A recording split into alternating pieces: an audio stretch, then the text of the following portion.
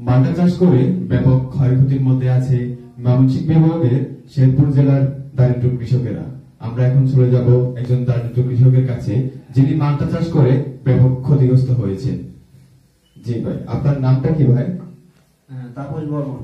আপনি কি মাল্টা চাষে ক্ষতিগ্রস্ত হয়ে মাথায় হাত দিয়ে বসে আছেন? হ্যাঁ।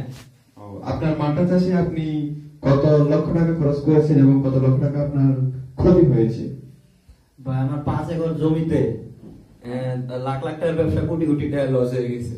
আপনি লাখ লাখ টাকার ব্যবসা করে কোটি কোটি টাকা লস হ্যাঁ। তো এখন মুড়ি নিয়ে বসে আছেন? ভাই মালটা চাষ করে লস খাইছি। লাখ লাখ টাকার ব্যবসা কোটি কোটি লস এখন তো আমার চাল কেনার সাধ্য নাই। আমি চাল কিনতে পারি না তার জন্য না খেয়ে থাকি। ও, তো আপনার মালটা কি হয়েছিল? আমার মালটা অনেক রোগ ধরেছিল। রোগগুলো একটু বলেন। পোকা মাকড় জনিত রোগ না।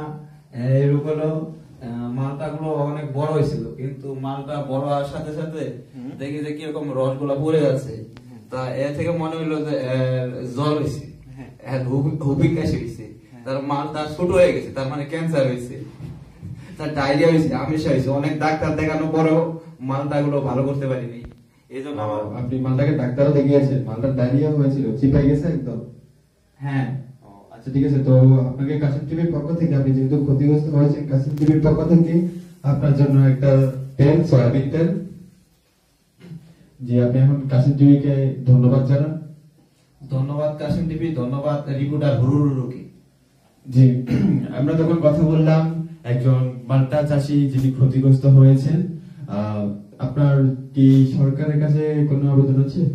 হ্যাঁ অবশ্যই আবেদন আছে। সরকার যদি আমাকে সাহায্য করতো তাহলে আমি এই মুড়ির বদলে তো ভাত খেয়ে বেঁচে থাকতে পারতাম। এখন আমার জীবন যখন এরকম কষ্টকর হয়ে গেছে যে আমার আমি মানে দিন দিনে তিন বেলার জায়গায় এক বেলা খাইতে হয় আমাকে। এরকম দিন যায় যে আমার মুড়ি খায় দিন কাটাতে হয়। ধন্যবাদ আপনাকে। কাশিম টিভি, এ আসামি চলেছেন উগান্ডা।